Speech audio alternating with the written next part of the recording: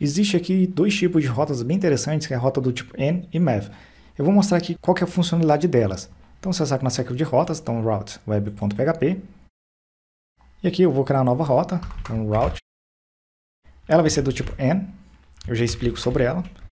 Aqui eu vou definir a URL dela, ou seja, qual que é a URL que vai acessar ela. Posso colocar esse barra aqui, ele é opcional. Posso simplesmente colocar aqui, ele já vai entender que é o barra ali no início, tanto faz. Vou chamar essa rota aqui de barra, por exemplo, N. E aqui eu vou passar uma função de callback.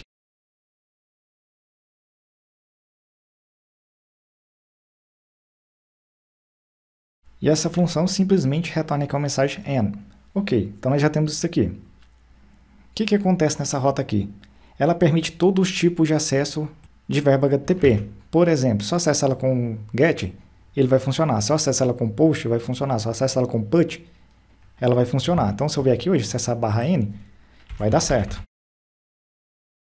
Funcionou com sucesso. Se eu acessasse ela com uma requisição POST, também funcionaria. Então, se eu pegar essa rota aqui fosse uma requisição post nela, funcionaria. Se eu fizer uma requisição put, ele aceita também.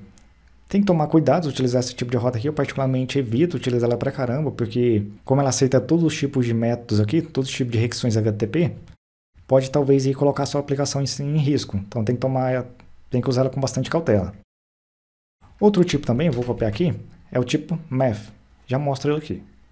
Ela é semelhante ao N, só que aqui, ó, então passa com a nossa rota do tipo math eu vou especificar quais são os verbos HTTP, então que eu passo antes de definição da nossa rota, eu passo aqui quais são os verbos HTTP que ela vai aceitar. Então essa rota aqui, por exemplo, vai aceitar apenas o verbo HTTP post e get, por exemplo. Então que eu falo que vai aceitar get, então o verbo HTTP get e o verbo HTTP post.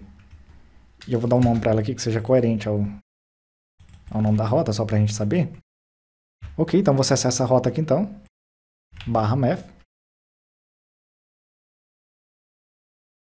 Veja que como eu defini aqui o verbo HTTP possível para acessar lá o get ou o post, ele acessou perfeitamente. Mas se eu removo aqui falando apenas o post, por exemplo, o put. Se eu acesso agora na URL lá, já vai dar um exception porque o get não é mais permitido. Veja que falou que não é mais permitido. Os métodos permitidos agora, os verbos HTTP, é post e put. E sempre observe também o tipo de exception gerados, que é muito importante para você familiarizando com os erros e quando acontecer esse erro com você, você saber exatamente como resolver. Então esse tipo de erro aqui, ó, essa exception aqui exclusivamente é para quando você acessa uma rota com o verbo HTTP que não é o correto. Então sempre observe esses erros aqui. Se eu definir aqui novamente que eu vou acessar, que eu vou permitir acessar essa rota aqui com o verbo HTTP GET, acessa aqui novamente, funcionou perfeitamente.